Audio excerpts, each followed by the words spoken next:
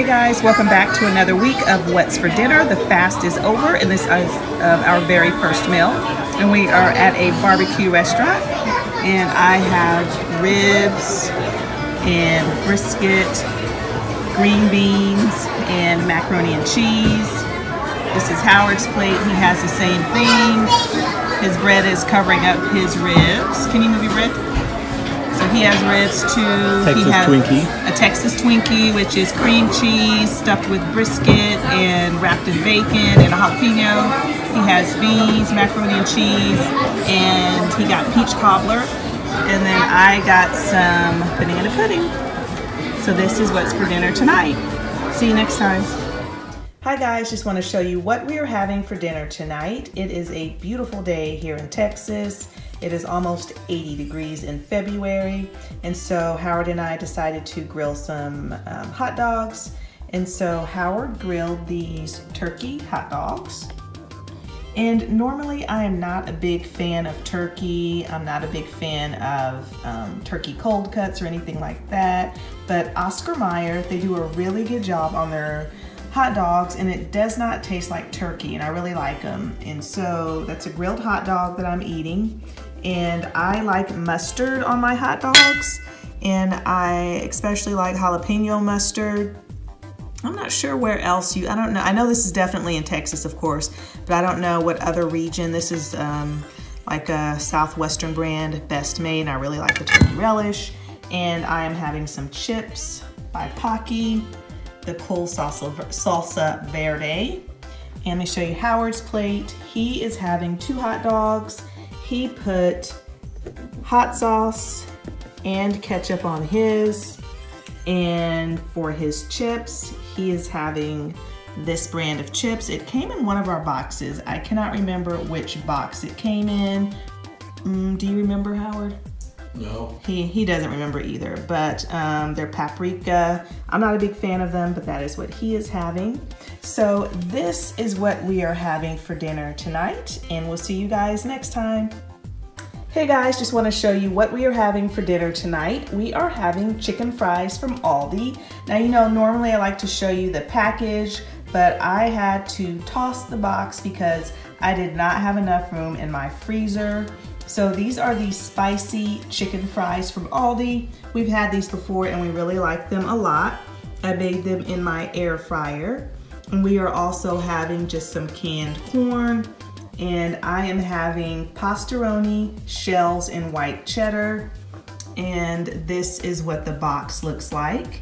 And Howard is having the same thing, except he wanted to try this chickpea let me show you the chickpea organic chickpea lentil and mac and cheese classic cheddar we have this in the pantry as well and he decided that he really wanted to try it and so it came in one of our subscription boxes I cannot remember which one but this is what it looks like on his plate and we both tried a little bit and he said that he thinks that he may have overcooked the pasta um, but it is only made with two ingredients, which is the chickpeas and the lentils. Um, I didn't care for it. I thought the pasta tasted really grainy. He said it tasted like cardboard. Then he said he probably would not um, buy that again or eat it again. As you can see, I don't have any on my plate. I did not like it at all. I did not like the texture, but then I don't like chickpeas or lentils either. So but anyway, this is Howard's plate. Like I said, we have the same thing except he is having, um, he's doing half and half of the um, pastaroni and half of the chick chickpea stuff. So anyway, this is what we are having for dinner tonight and we'll see you guys next time. Hey guys, wanted to show you what we're having for dinner tonight. I have been craving cube steak for a while, and so that's what I decided to make. So we are having green beans, and that is cube steak right here. And then we've got some mashed potatoes, and on top of the mashed potatoes is the gravy from the cube steak.